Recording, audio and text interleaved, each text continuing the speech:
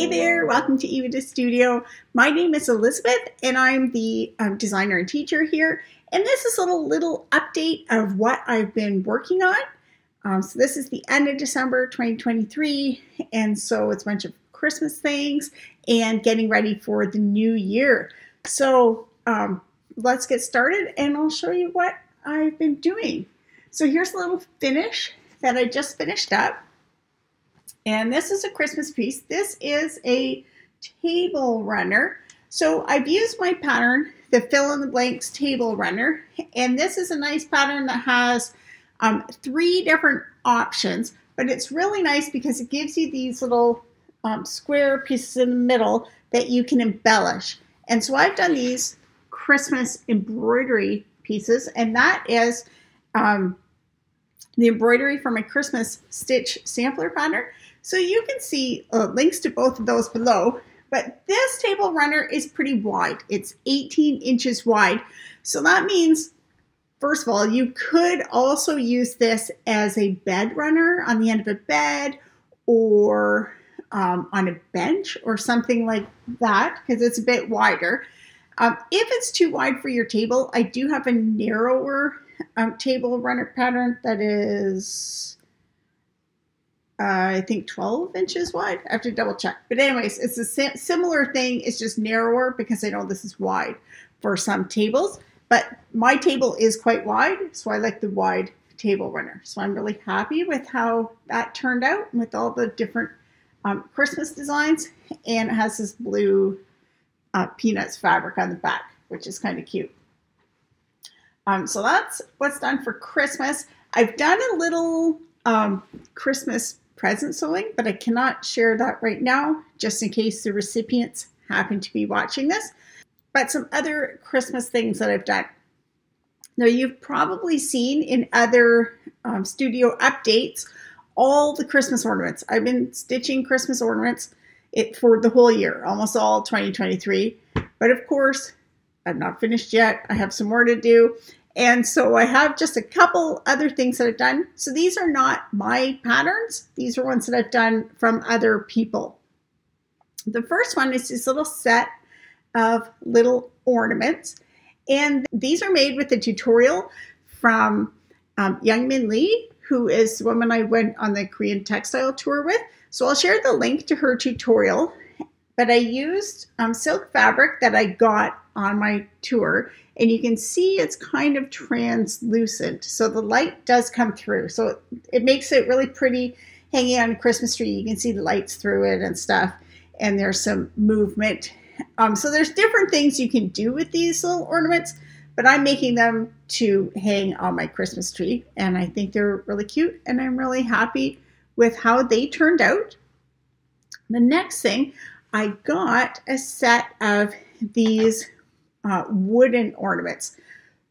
So these are actually wood with stitching in it. So the wood comes with holes uh, drilled in it, and then you stitch through the holes. And then they also have this little felt piece at the back that's just cut to size. You peel and stick it on. And so it makes a really nice finish. And so I got the whole set of these. These are, um, I guess, woodland creatures. the bear and the rabbit and the fox and the reindeer. So these are just so cute. And these are actually kits from um, Kiriki Press, which is a Canadian designer. And everything about the pattern is beautiful. It comes in this little kit. Even the packaging is so beautiful. It has the instructions. It comes with um, needle, thread, everything. So you can just open it up and start stitching right away. So I'm going to share the link below. Um, that's not an affiliate link. I don't get any commission or anything. I just share that because I think it's such a beautiful project. Um, and if you're interested, then they might have more available. It's probably too late for this year, but it's a great project even to work on for next year. So I will share that link below.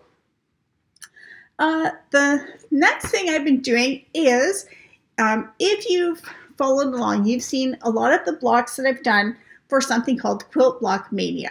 So Quilt Block Mania is a number of quilt designers and every month there's a theme and all the designers make a block with that theme. And then they offer that pattern for free during the month of that theme.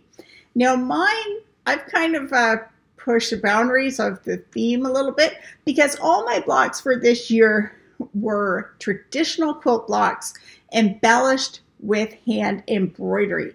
And so I'm finished all the blocks now and I did them all with this green and blue fabric and similar kind of pink embroidery. And so now my blocks are done. I'm going to go and um, put them together into a quilt top. And I'm really excited to see how that's going to turn out. So these blocks are all now, the patterns are available in my shop, but I'm going to be putting together a bundle that has all of them together and it has finishing instructions for if you want to put these um, together into a quilt. And I'm putting mine together into a quilt. Now, I only started this in, I guess, April, so I only have nine blocks this year. So it'll be a three by three quilt.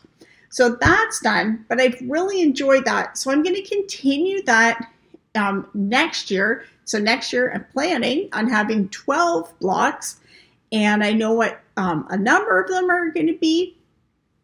And I'm going to be using these colors for mine. So I have these little um, stash builder rolls from Island Batik and in these purples and then orange and yellow. So I'm going to be using those colors for my blocks. So they'll be a little bit scrappy. It's more than just two fabrics, but it's going to be those colors.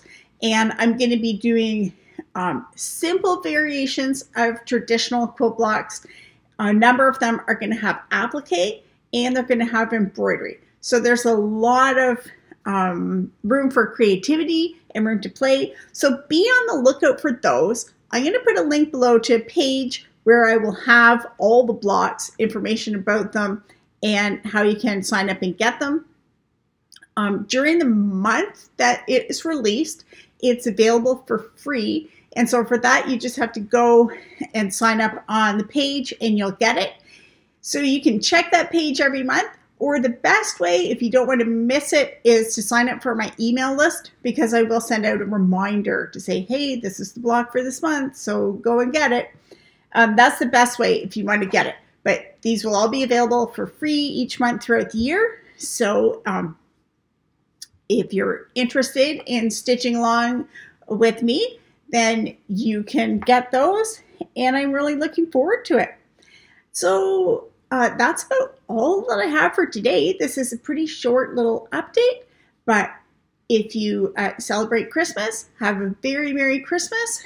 And um, if you don't enjoy time with your family and friends in whatever you celebrate at this time of year, and I will see you in 2024 with lots of great new quilting, pojagi, and embroidery projects. Have a great day.